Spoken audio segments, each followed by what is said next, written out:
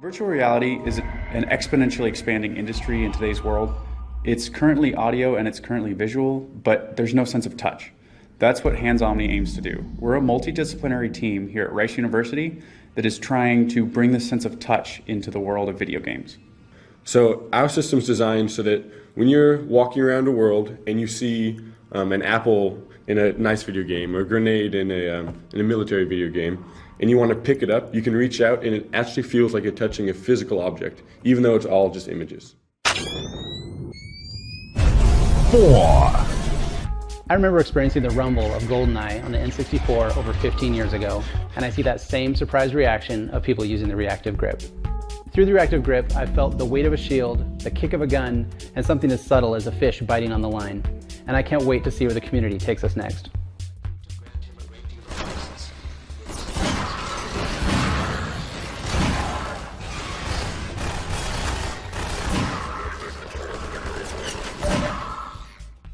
Our technology conveys motion and force information by moving sliding contactor bars that are built into the grip. By moving these bars, the reactive grip can give the sense of an object's weight or of an impact. By moving these bars in opposition, creates the feeling that the handle is wrenching or twisting in the player's grasp. This lets the player feel a bending fishing pole, the suspension of a vehicle, the stretching of a slingshot, or a medieval flail. We call it reactive grip because we track a player's hand motions and then react to those motions, providing the feedback that they would expect if they were holding a real gun, sword, or a fishing pole. Three.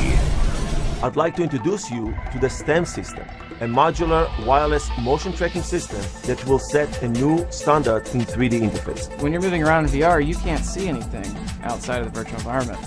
So you need a wireless system so you don't get tangled up in yourself. You know, even doing this, that's something I, I really avoided doing with my regular Hydra because I don't want my base to fall. Yeah, pull the base with it and be like, oh, oh no, what did I just do? The stem supports up to five individual tracking modules that can be placed directly to the user's head, hand, or legs as long as there's more tracking points and you can keep expanding the level of interactivity with your body. Previously simple interactions like climbing a ladder suddenly become this really tense and visceral experience. The stem creates new possibilities for full motion control in VR, not just walking, which we provide with the Omni, but also hand motions and independent gun track. So we can have people gesturing around as if they're waving a sword or they're, or they're swinging a bat or a tennis racket.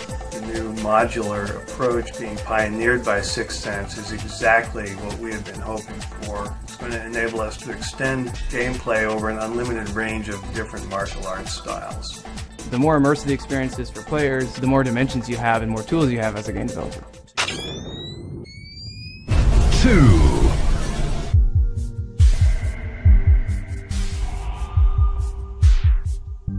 Hi, I'm Paul Yost, Chief of Research and Development at YEI Technology, the developers of Prio Prio VR provides full body motion sensing for gaming and virtual reality. Prio VR is an easy to wear suit featuring high accuracy sensors that provide real-time tracking. Every movement you make translates one-to-one -one into the game with no cameras, no special setup, and an unlimited capture space. This means that with Prio VR, you can move any way you want with no lag and complete freedom for a natural experience. Whether you have one, two, or ten people, Prio VR lets them all easily play at the same time in the same space. One.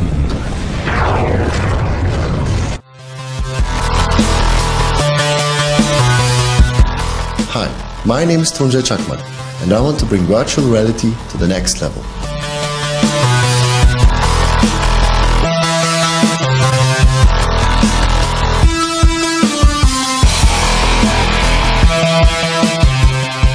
Always loved playing video games and grew up with games like Quake, Doom and Duke Nukem. But just sitting in front of a keyboard and a mouse, staring at a screen, was not enough for me. So I began to think about a solution to walk inside of the game and started to build the first prototypes of the virtualizer in the workshop of my father. Nowadays, head-mounted displays like the Oculus Rift and Sony Morpheus allow you to enter virtual environments visually, but there is still the key problem of being unable to actually walk through virtual space, which the virtualizer